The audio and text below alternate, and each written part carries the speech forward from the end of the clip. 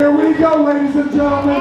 Bob Brown and the runner, and I'll Roger straighten Nowoski watch for the Saying the King's move is the hot topic right now and has been for the last century.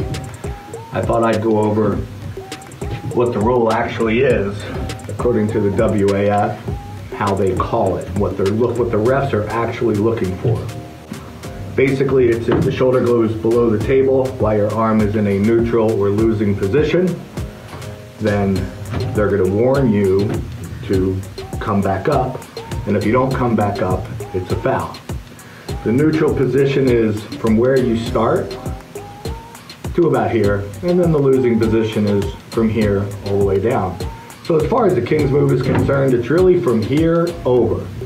Now here's what's crucial a lot of people miss. If I just move a teeny bit this way, I am no longer in the neutral position.